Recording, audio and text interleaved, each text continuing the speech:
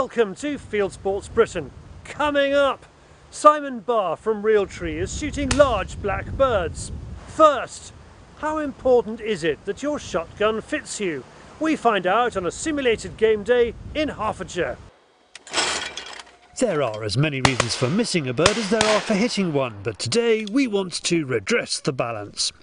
William Powell Gunmakers has chosen a deep flowing drive on the Hexton estate in Bedfordshire to show off their range of side by sides and over and unders. It's a free try before you buy day. We're hosting an event today because it's a great opportunity for, for visitors to come along and try and use our guns a gun is a, a, big investment to people. You know, you wouldn't buy a car without test driving it first, but plenty of people buy guns for ten thousand pounds without, you know, without without trying them. On hand are some of this traditional gunmaker's gunroom staff to ensure these very smart guns fit you like a glove. Who knows how many shotgun owners are out there with ill-fitting 12 bores? Imagine if Beckham wore boots two sizes too big for him. He wouldn't be a shooting god and neither will you be if you're not comfortable. People might come into the gunroom, they'd pick up a gun. I've just got one of the, one of the Powells here.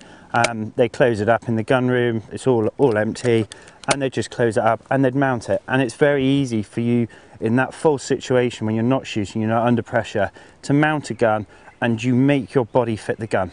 Um, and you fundamentally do lots of different things to make you fit the gun. Um, for instance, with this gun, if I put my hand just a bit further along the stock, along the barrel, sorry, and all I do is when I mount this gun, if I mount it up, you can clearly see now that my, my head is very far back on the stock. The stock looks massively long for me. Not changed the gun at all, place my hand down on the action, mount the same gun, and suddenly to get my eyes in the right position, I've suddenly, my nose is right up on top of the gun, and the gun again, the stock length is wrong for me, totally wrong. All I need to do, and coincidentally this gun does actually fit me, put my hand where it should be on the middle of the forend um, with an over and under, and if I just mount it there, it's virtually in the right sort of place. Um, and, and the difference is, is depending on where you mount the gun and how you falsify it, you can make it fit you, unfit you, and do whatever you want. This is the first time the Old English gunmaker has done this sort of thing, and it has attracted guns from near and far. Mark Bladen and his friend are on familiar territory. They shoot the simulated and the game days offered here at Hexton. Mark's in the market for a new William Powell Pegasus. Come back today because the, the offer of, um, of, of having the gun completely fitted for you and measured um, seemed um, too good to be true. So it was very important to come here and, um, and get a gun fitted, made to measure. Matthew now takes Mark through the process of ensuring his William Powell doesn't just look beautiful, but fits beautifully too. Needs to be a little bit lower there. Yeah. I'm, I'm, I'm, a, I'm seeing. Yeah, I, I, can see all of your eye. Yeah. Is the honest truth. I can see all of it and just a bit underneath. Yeah. So what I'll probably do is I'll just, just bring the comb down a little bit for you. No, that looks about right to me. That's perfect. I can see all of your eye. The stock used for the fittings can be pushed and pulled in all directions. The size of our chest, face, shoulders all need to be taken into consideration. So if you've gone up a neck size from 16 to 18 inches, your gun won't fit you quite as well as it once did. These guys cannot stress the importance enough of a well fitted gun, so why not grab your unloaded shotgun, stick yourself in front of a mirror, and see if you are moulding yourself to your gun or whether the gun moulds to you. Right, we're going to look at the four movements in which we can move the gun. We're looking at the length, the bend, the height of the comb, and the cast. First of all, we're going to look at the length of the gun and on the tri-gun we can alter this by altering these screws and this. So what I'm going to ask Andrew to do is first of all just, just mount the gun up into the sky and we'll have a look at the length. Right, whilst we're looking at Andrew at the moment, he's got his hand in a reasonable position in the middle of his middle of the forend. Um, but if we come back round here and we look at his positioning of his at the back of his hand to his nose, we can probably fit three, possibly four fingers in the, the perfect length we're looking at is, is probably to fit two fingers in. So if Andrew dismounts the gun now, and what I'll do is I'll just um, undo these and shorten the stock. So if you just mount the gun up again, Andrew, let's have a look, see where you are. Okie dokie, yep, no, that looks about right. If we just, just pop in, we can see we've got two fingers. Andrew just moves his head forward, better position of his head, and we can see he's got two fingers um, width between the between the, the back of his hand and his thing. Next we're going to look at the bend of the stock. So if Andrew just moves his hand there, we can see that the, the stock is coming down on this angle and what it creates is, is different lengths from the trigger pull to the what we call the mid, the toe and the heel of the of the gun. And this this truly goes back to the actual shape of your shoulder to your to your breast. And as you can see, mine is is relatively fat, but a larger person may have one that's more sloping. Um, so what I'll just do on this is just ask Andrew to mount it up and see if it fits nicely into this curve of his shoulder. If you just dismount it a minute, Andrew, and do that up, we can actually see what's going on. So as we can see there, if I just come round and ask Andrew to just let go with his left hand, keep it there, we can see that he that the, the, the flat of the stock there is perfectly in line with his shoulder. If he was a little bit larger, it would it would be tucked in and we'd have a gap at the top. If he was much smaller, the opposite would happen and we'd have a, gap at the bottom. So we can tell that that is a, a sort of perfect bend length for Andrew. Thirdly, we will we'll go on to look at the cast. Andrew um, is a is a right-handed shot, as we can see by the way he's mounting the gun, and typically a right-handed shot will have cast on or off. Um, as I know Andrew, he's a right-handed shot, shoots with both eyes open and shoots with a dominant right eye. I know that he, he will roughly be around um, an eighth cast off on the gun. Um, so um, I already know that this gun is, is cast off to that. And what we can do is go back to my demonstration earlier um, of when we're looking, the gun is empty, is all we do is look down the end of the gun um, and I can see that the, there's a slight curve on the cast of the gun as I look down it's the left hand side and that tells me that it's cast off. When we're looking at the, the height of the comb, what we do is we measure back from the, the flat of the gun all the way back through to the back and we have three measurements. We measure the, the height at the comb, height at the face, which is the midpoint, and height at the heel. Um, and, and we measure those because actually the, the, the cast and the bend of the gun will actually change that, but also you need to know how high up the distance to where the face is to where the eye sits on the barrel. So what I'll ask Andrew to do to do this one is I'll ask him, I know the gun is empty, so I'll ask him to, to shut the gun and just mount the gun at, at 90 degrees or flat to him and just mount it flat straight out. What I do then is I'll come around the side and I'll just come around to this side and I'll look down the barrel. Now if you come around at this end you will be able to see that looking straight down the barrel, and if you can hold that there, Andrew, um, if you look down the barrel, you can see all of Andrew's eye and a small piece of his, of his eyelid at the bottom. His eye then is looking over the top of the gun and his perception to the end of the gun is coming down onto here. Um, and if I completely raise the gun up like this and Andrew tells me what he can see, what are you starting to see now? Just lots of gun. Lots of gun. Can you see what the end of the gun's doing? No. Not a thing. Right, so what we'd need to do in that instance is we need to look at the, the height of the comb. Um, so we'll go back to the gun um, and the keys. And what we'll do, we'll just, they're very easy to, to, to manipulate these guns. You just slightly undo the screws. Um, and just from my, my guess work, and it really is sort of guesswork, trial and error, getting some feedback from your, from your client um, exactly where they where they think it should be, and obviously experience with the shape of people will will help. Um, so if you do the same exercise again, if you can just mount that gun, perfect, and I'll just come around this end. We know it's empty, and come round and look at Andrew. If I look straight down there, I can see all of his all of his eye. There's a possibility that the that the end of the gun is just covering the bottom of the colour piece of his eye. Um, so what I think I'll do now, if Andrew just drops the gun down a little bit again, I'll just lift it a tiny bit. The tiny measurement will make a difference. Um, obviously, when everything goes up to to a further distance away, a few millimeters at this end can make a massive difference um, on the bird that is 30, 40 yards away. Let's see what's going on there. So if you just mount that up again, Andrew, and I'll come around again and just have a look. And I can see all of his eye there now. So if I lift his gun up now, and I keep raising it and you should now be able to see at the end of the gun all the way up through and even when he gets to this point where he's going to shoot his very high pheasant he should still be looking all the way down the end of his gun which I hope you are Andrew. That's correct, yeah. So um, if you bring it back down and mount to the camera, you the camera you'll be able to see that you can see the full piece of his eye. You smoke that one. The fitting has definitely worked for Andrew, and we hope it's also helped you spot whether your gun is a bit rough on the shoulder. Better, isn't it? William Powell is keen to do more of these events for customers to come along, have a pop at a few good clays, and consider one of their range of guns. Now, if you love your shooting, you'll love The Shooting Show. You'll see a clip of it appearing in this um, cypress tree beside me. Next, it's David on the Field Sports Channel News Stump.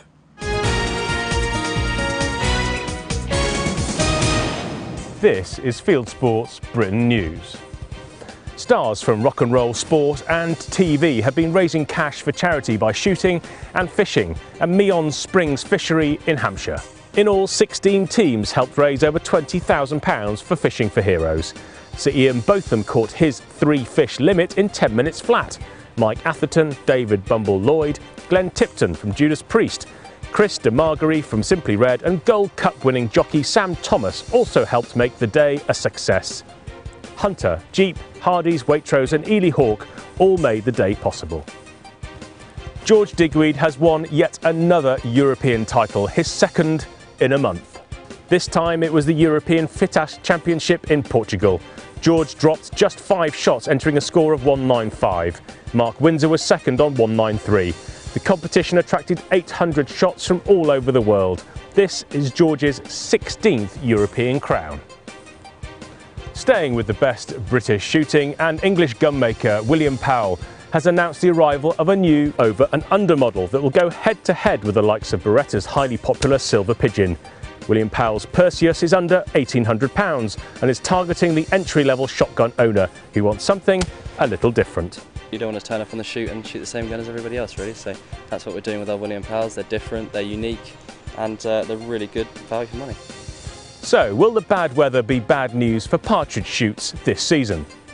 Rain during Royal Ascot traditionally means death for partridge chicks. However, game farmers are reassuring shoots that although the bad weather doesn't make their jobs easier, the chicks are safe thanks to modern rearing techniques.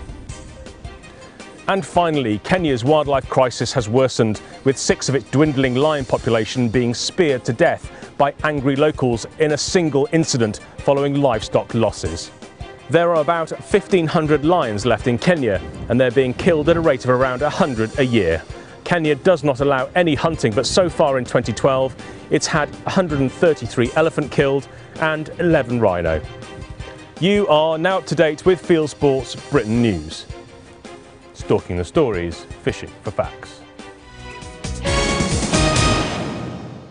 Thank you, David. Some really important stories there, I thought.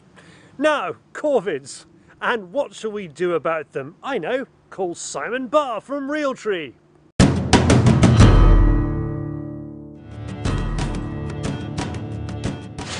If I say it's before dawn on the morning of the summer solstice, you'll get an idea of how early it is. I'm joining game chef Mark Gilchrist on a crow shooting outing to minimise the impact they're having on a farmer's crop. We need to be set up in the hide within the next 45 minutes to catch the crows as they start leaving their roosts and heading for breakfast. You always find big populations of crows wherever you've got uh, pig farms, chicken farms uh, or dairy farms. That's where you get big, big amounts of crows. Or somewhere where they're fattening bull beef. They're always making themselves unwelcome customers. And when it gets light, you'll see what I mean. There's just patches here that they've just ruined. When they're doing what they're doing, it doesn't take long for them to make the crop, crop uneconomical to grow. Many will not realise the damage crows can cause to crops. These crafty corvids don't just keep to livestock farms, and the young crop we are trying to protect is sustaining quite a hammering. The birds are not eating the shoots, but pulling them out of the soil to expose leather jackets, worms and grubs underneath. We'll have a look at this later, but now I want to find out if there's as much of an art to crow decoying as pigeon decoying. Mark, what sort of a pattern do you go for with crows? Pattern, it doesn't matter what it is, pattern doesn't make any difference. Anyone that tells you want an L-shaped pattern or a Z-shaped pattern is making it up. You just want a big area of decoys and a hole where you want them to land.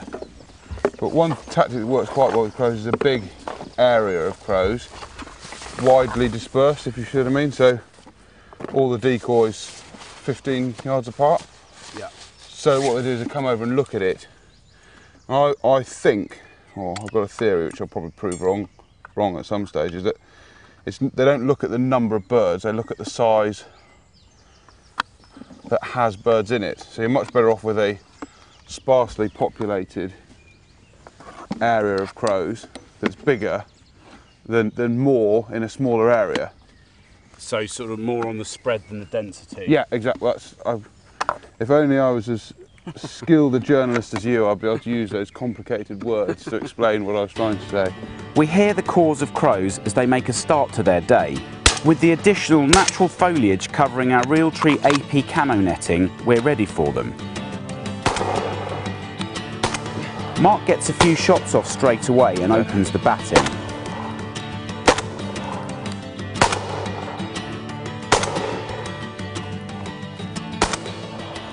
Mark takes the job of controlling vermin on farmland very seriously. I feel quite honoured I may also get a shot off. As enjoyable as this outing with a gun is, Mark is most definitely working. Mark, so we've caught up with a few now, and it is very different from pigeon shooting. What would you say the, the key differences when you're shooting crows over pigeons? Well, you need to be in the right place at the right time. So, um, this time of year, you need to be up early. I mean, it's even on a good day, it's all over by eight, nine o'clock because they they find somewhere else they spread out. Um, the actual taking the shot, I think you need to be a lot stiller. They're a funny bird in that they are more intelligent, but also oddly enough, crows can be quite arrogant in the sense that once you've got them fooled, they can often think it's incomprehensible that it could be a trap. If you've got a decent enough setup, they come straight in and they can be very silly once you've got them in that position. Once they've taken the bait, they're in. Yeah, yeah. It may be midsummer, but the rain starts coming down in stair rods. We knew it was forecast, so why are we here? So, Mark, we're out on the longest day of the year.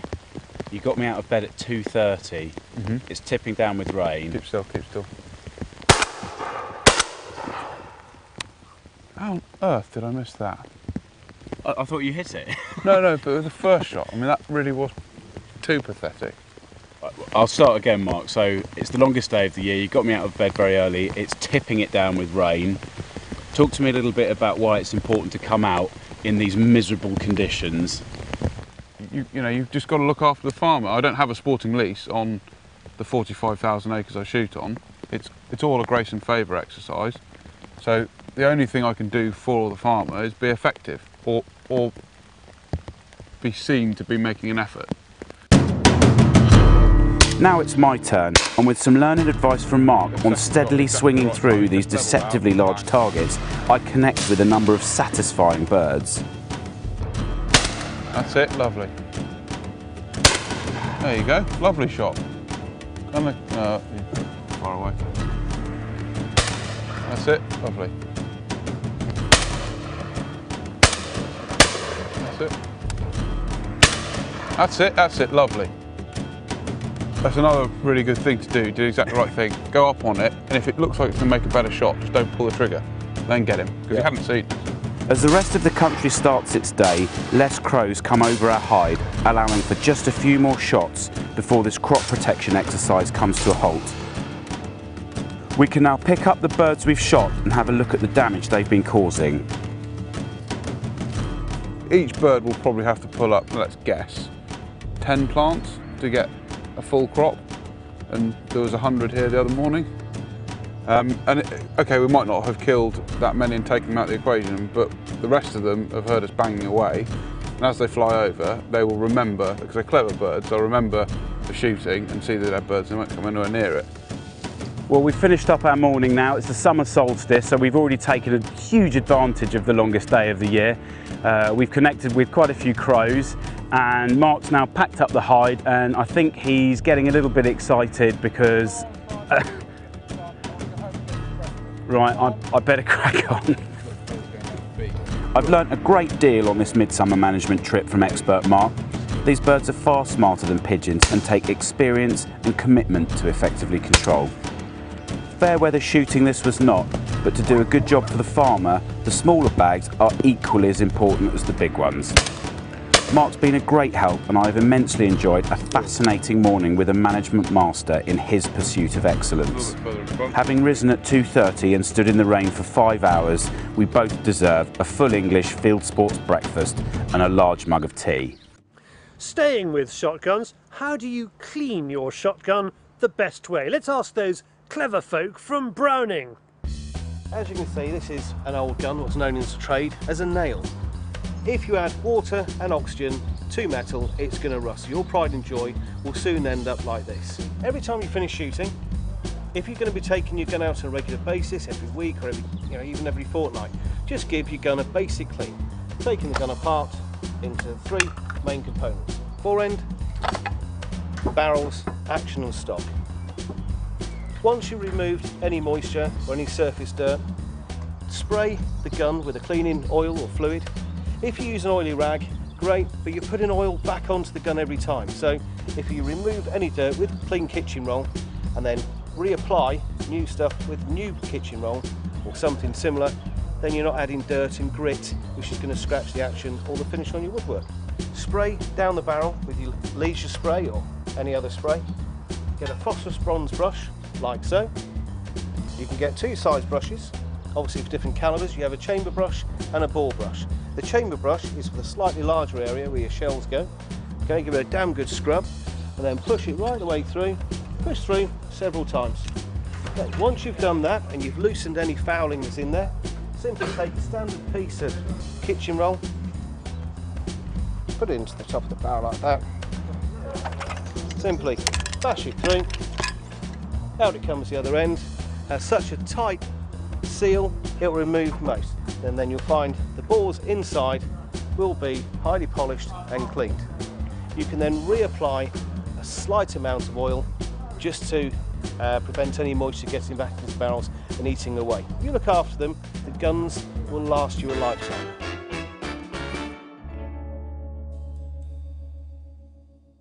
Now, we filmed that for Browning at the Oxford Gun Company shop and playground, and the owners of the Oxford Gun Company this year celebrate 30 years in the business. So they are throwing a party for the great, the good, the bad, and even the ugly from the shooting industry. Fabulous family. Made me feel so welcome since taking on the game fair. Thank you very much. If you want to see more from this event and you're watching this on YouTube, follow the link on the screen. It's hunting YouTube. This week we're celebrating Euro 2012 and the slow collapse of the Euro by highlighting some foreign films, thanks to everyone who has sent in their favourites. Well, they certainly do things differently in Turkey. Bilal Arabachi, forgive the pronunciation, shows a woodcock shooting film where the dogs wear radio collars, the shooters wear orange, and they carry semi-autos. If you can put up with the bad language, and I assure you Turkish is a bad language, you will find this fascinating, not least that they are out with a group called Yonkali Timi Nazim Öksu, which means literally literally Orphans Master Shamrock Team. Talking of shamrocks, after a two month break, the remarkable Irish shooting documentary maker, which is punchy enough to call itself Cream Them on YouTube, has uploaded another film. Trialing a Spaniel's Journey is a short, sharp video about a gun dog trial with great filming, a sense of disappointment you can't see the whole thing, this is just a trailer, and happily, no cream. Now, we have made lots of good factory films for manufacturers, including Norma Ammunition, Zeiss Optics, and Browning Shotguns. And here is one from the USA by Ammo Mafuga products made early last year. It shows CCI's 2-2 rimfire ammunition facility in Lewiston, Idaho, and it's very good. Of course, ours are better. Our friend and viewer Reich from the Netherlands is back with another favourite film this week. Forget pheasants, this from Archipelago NZ2 is peacock shooting in New Zealand. But the quarry is not important for gun dog enthusiasts who will delight to see a team of Chesky Fuskies at work. Good grief, can't we have a dog with a sensible name? So we have to introduce you to this channel called Dylan Dog 69. It's in Italian and is all about, well, not just catching enormous catfish and carp, but jumping into the water with them afterwards, splashing around, and it's hard to know what's happening here. Emotional Continentals. Back to Blighty and air gunning. Country Pursuits TV has a Daystate Mark IV IS on test. Rabbits be nervous. He tries it out next to a tuned Air Arms Evo 2 and finds it almost but not quite the Evo can Evo's equal. Good work by Country Pursuits TV. Bad luck, those rabbits. If you ever wondered whether it could be done, Big Size 66 shows that it can with the correct windage, elevation adjustments, and surely a modicum of luck. A 204 Ruger shooting a 39 grain Sierra Blitz King with a muzzle velocity of 3,700 feet per second kills a rabbit at 458 yards. That's more than a quarter of a mile. Believe it or not. Let's finish on a film so painfully patronising and pointless, so moronic, so everything that's wrong with both football and ordinary telly. It comes from some sleeping beauty of a BBC producer who thinks it would be an awesome idea for the footballer Ian Wright to go hunting with the Kalahari Bushmen. It Must be a simpler way. Jesus. That's terrible, that is. Yeah, go to the butchery and buy it. Somebody else killed it then. BBC Worldwide has the gall to say the former Arsenal striker is surprisingly squeamish when it cannot bring itself to show any of the hunting that takes place. Only right, blithering in the noonday sun, while men who live and die by what they catch and hunt are reduced to being victims of his otiose attempts at humour. It's the new Reithian principles misinform, ill educate, and you will never be fired for hiring a footballer. It is television as voluntary tinnitus. Thank you for listening. Rant over. You can click on any of these films to watch them. If you have a YouTube film you would like us to pop into the weekly top 8, send it in via YouTube or email me the link, charlie at fieldsportschannel.tv. Well, that's it for this week. We are, of course, back next week. And if you are watching this on YouTube, you'll see various things appearing beside me. You can click them and subscribe to our channel or subscribe to this show, Field Sports Britain, by going to our special shows page, www.youtube.com slash show slash Britain. Or you can go to our website, fieldsportschannel.tv, where you can click to like us on Facebook or follow us on Twitter or scroll down to the bottom of the page where there's a box. Pop your email address into that and we will contact you remorselessly forever. This has been Field Sports Britain, going bang and loving it.